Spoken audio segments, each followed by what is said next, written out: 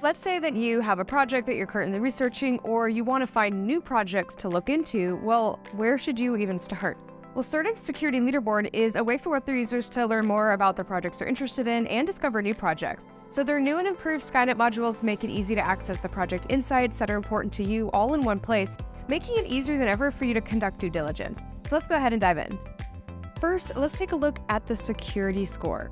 So this essentially provides an at-a-glance view of the overall health of a project based on a variety of security and community and market metrics. Next, we have the Code Audit History module, which shows the CertiK audit report that includes the audit findings alongside the severity and whether the project actually resolved them or not. So you can determine whether a project is taking actionable steps to address the results of its audit. Now, if you click on the View Findings option, it makes it quicker to retrieve these audit findings. Now let's do a little price analysis. So the TradingView tool makes it possible to overlay analytics of your choosing, including price, so that you can assess a project based on a combination of market, social, and security metrics that matter to you.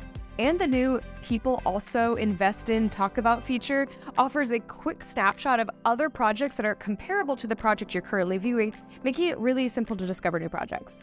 We all know that hard metrics aren't the only factor to consider and that social sentiment can actually play a really big role in a project's success as well.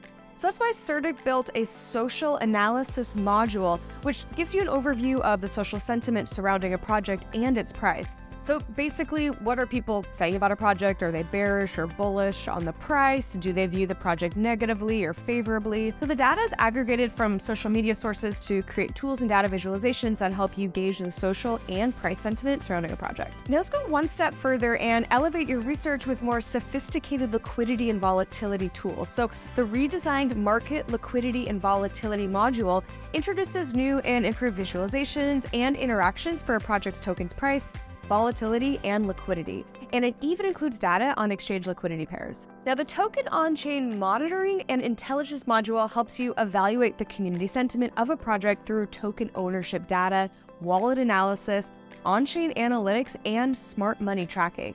You can also select a specific smart contract related to a project's token and gain insight into how a community is interacting with that token. And finally, let's take a look at governance and autonomy. So this tool can help you identify centralization risks and conduct token holder analysis with the governance and autonomy module. So you can use this to simplify your research on token governance and determine how long a token's been around, who's holding it, and how it compares to other tokens, among other features. We really hope that you found this video helpful. So to learn more about the tools mentioned in this video, plus many more options that are available on the CertiK Security Leaderboard, head to certik.com.